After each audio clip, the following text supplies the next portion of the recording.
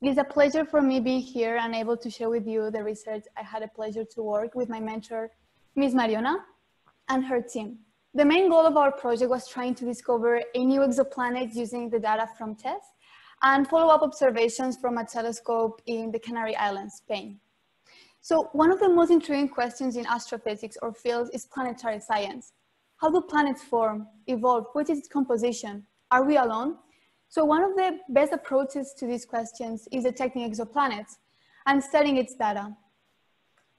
One of the most effective det um, detection techniques is transit photometry. Photometry is the measurement of the brightness um, from a human perception. Then transit photometry tries to detect slight variations in the brightness of a star due to a transit. But what's a transit? So here in this uh, graphic, you can see the y-axis is the stellar flux, so the brightness of the star. And in the, in the x-axis, you can see the time, the orbital phase. The main bumps are the transits, where the slightly ones in between are occultations. So imagine you have a star with a planet orbiting, like in this case. So when the planet is in front of it, it's eclipsing it, causing a transit. When it's behind, it's an occultation. So from transit photometry, we can derive some of the properties and characteristics of a, of a star planetary system.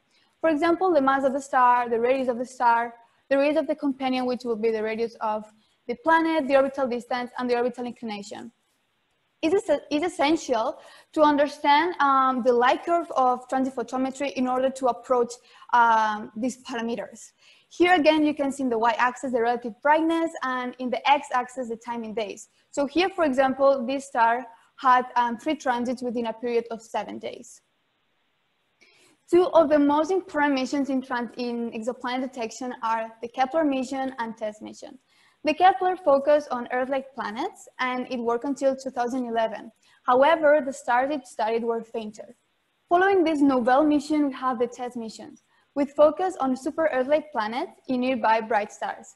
Both missions use um, transit photometry for detection of exoplanets.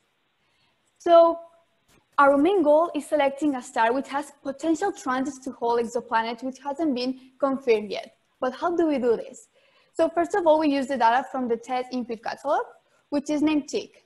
However, from the 2044 stars that the catalog displays, we only want to follow up these ones following specific requirements. For example, with the stellar parameters, um, we, we focus on the brightness of the stars. So in astronomy, we have a inverse uh, scale of brightness uh, from human perception. So the lower the number, the brighter the star. Therefore, we are looking for an interval between 9 and 12.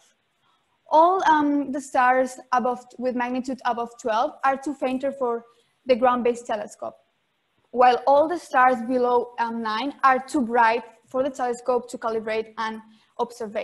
We also want to make sure that the star is in the north hemisphere, so the ground-based telescope will be able to observe it. And we also need to make sure that it has a planet candidate orbiting, not confirmed yet. And finally, that has periods shorter than, than 10 days. From all the stars, only 280 followed these specific requirements. And that was the moment to plot the light curve and choose the most potential ones to be exoplanets. Uh, um, 20 stars uh, had um, transit um, potential to hold exoplanets. However, um, to study transit, we need to make sure that when we observe the transit, it's actually happening in order to know the intensity in exactly every moment. Um, our observation was in the last week of July to have the data from our, for RSI. So only nine stars had transit during the last week of July. From the final target stars, um, we chose 2294 because it was um, the most potential um, target star um, with a transit potential to hold an exoplanet. So we plot the light curve for um, this star. And in the plot above, we have in the y-axis the flux and the x-axis the time. And it shows all the transits that occur while, while TESS was observing the star. In the one below, we have in the y-axis the normalized flux, and the x-axis, we have the time, the phase. In this case, we have pulled all the light curves into one, based on the first transit and the period, which is the time between one transit and the following one. We also used NASA Exoplanet Archive in order to make sure that our target star had transit occurring during the last week of July. So we also need to make sure of the, the elevation of the star. So this graphic shows in the y-axis the um, degrees, and the x-axis we have the months. So it shows the elevation of the star over the year. So for an optimal observation, we have to make sure that is at least 30 degrees of elevation. In this case, by the end of July, we have around 50 degrees, so it's optimal. We also need to make sure that our target star is not very close to a bright source of, of, um, of brightness, because that could disturb the observation of the ground-based telescope. This is the most exciting slide of my present of my presentation and the research. So we were really lucky to be able to uh, have Artemis, the ground-based telescope, to observe our target star. So uh, this slide basically what shows is that while uh, the ground-based telescope Artemis was observing the star last week on July, there was an object actually transiting, orbiting around the star and causing this decrease in the brightness. So here in the y-axis, as you can see, is the normalized flux, which is the brightness, the energy flux of the star. And then we have in the x-axis um, the time. So now that we have um, the ground-based data, so that we obtain the stellar flux, its error, and the time, it's, or it's now the moment to determine the planetary parameters. What can we obtain from this candidate exoplanet and prove if it's an exoplanet or not? So we use a model to fit um, the parameters of the light curve that we obtained from the Artemis observation and values that we previously know regarding um, the mass of the star, its peri the period of the transit, the duration.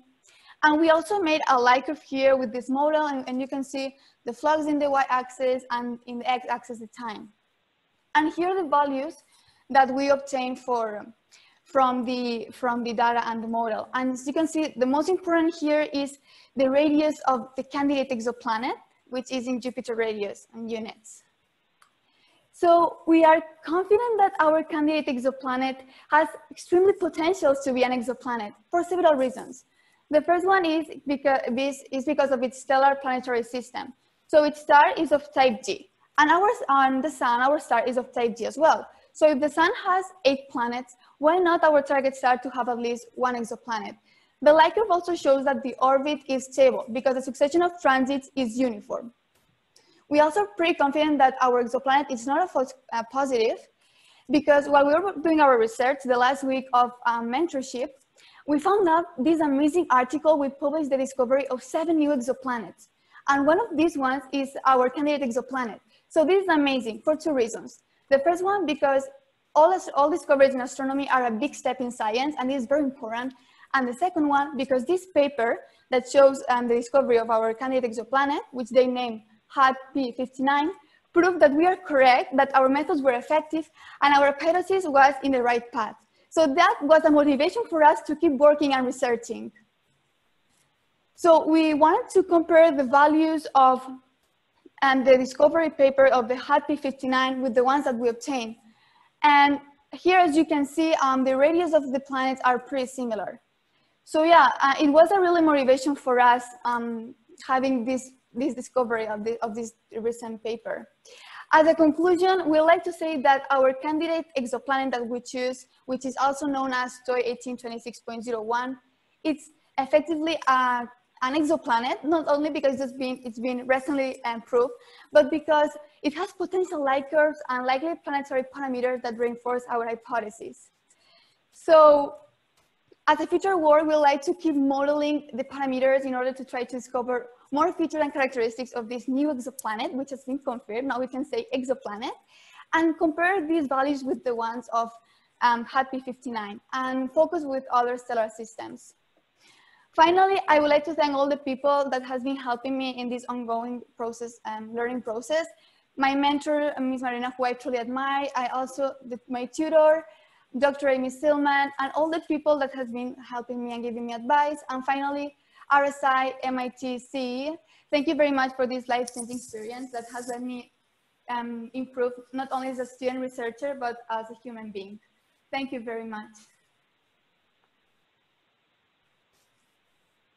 Thank you so much, Blanca, for that inc incredible presentation.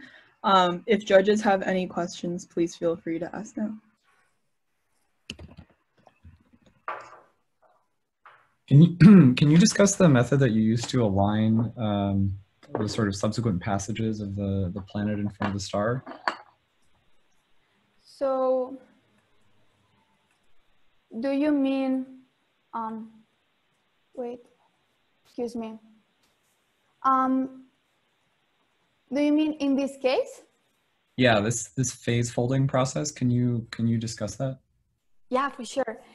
So Phase fold, um, so this one is in order to study in detail the light curve, um, the, the transit, okay?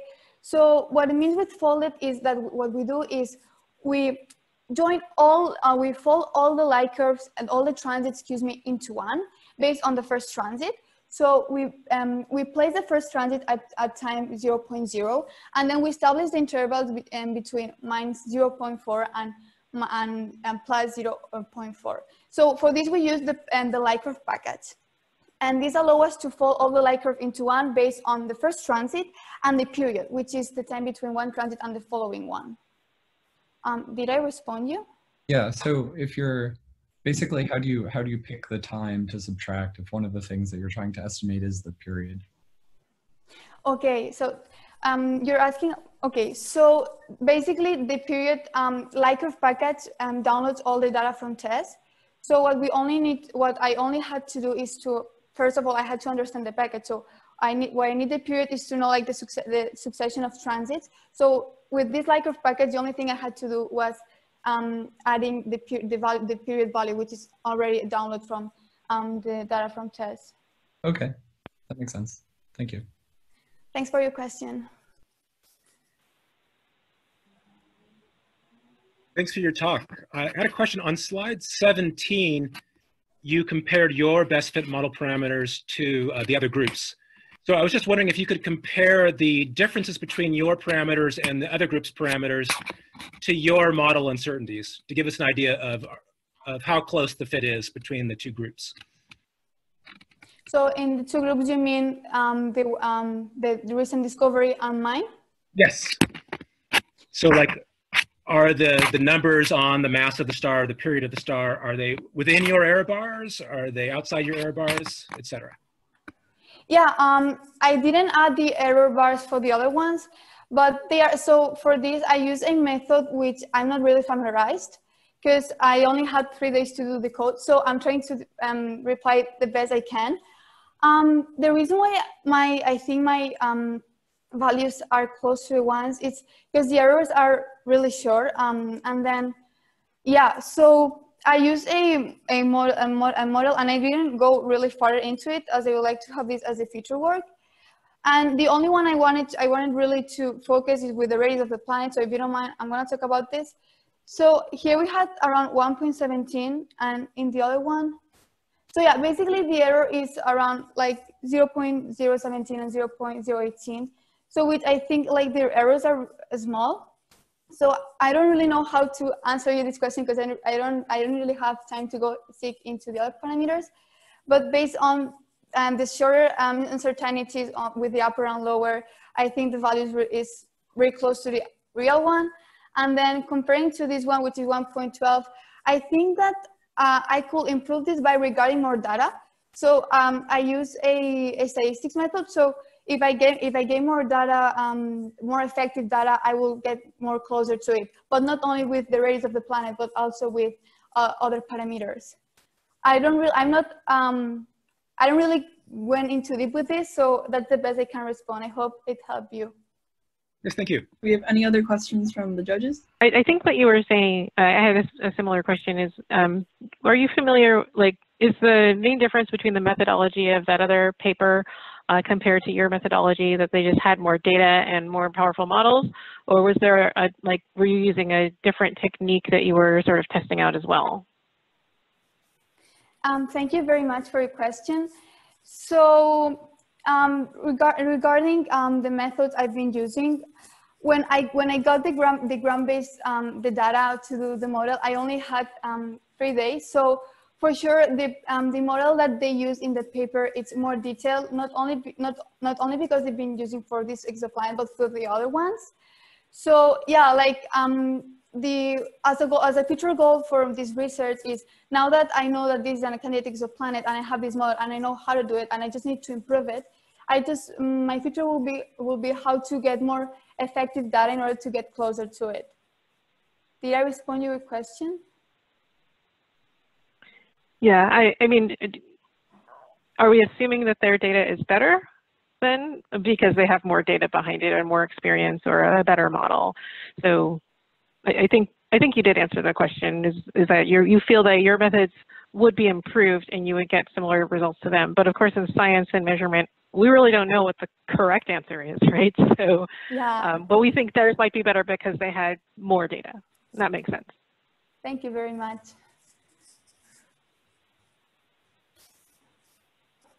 All right, great. Thank you so much, Blanca, for the great presentation.